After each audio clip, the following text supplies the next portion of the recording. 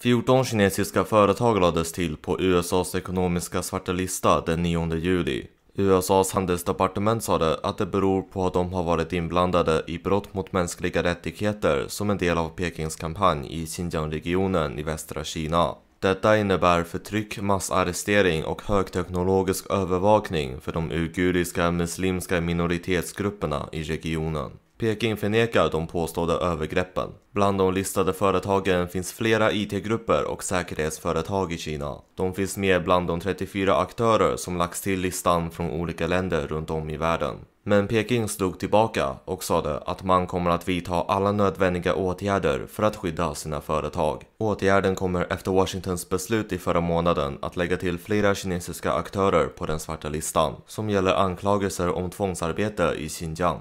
Aktörer som läggs till på den ekonomiska svarta listan kommer att behöva ansöka om licenser och genomgå hård handelskontroll.